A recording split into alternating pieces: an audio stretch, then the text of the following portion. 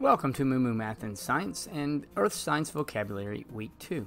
And in this video, we will cover the following words. We will cover universe, galaxy, solar system, planet, Big Bang Theory. Up first, we have universe, space and all of the matter and energy in it. And here's a picture of the universe. It includes everything. Next, we have galaxy a collection of stars, dust, and gas bound together by gravity. And here's a picture of a galaxy, and you are here. And please keep in mind that it's billions of stars.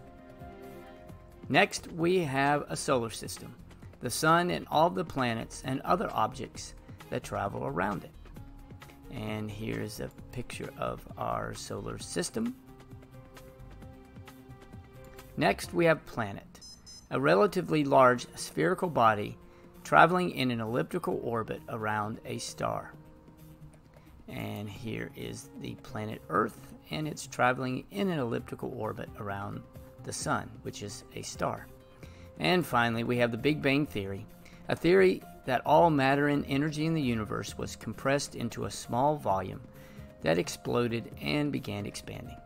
And here's a cartoon version of that. We have singularity, which is the small, everything in a small dot, then the explosion, and then expansion.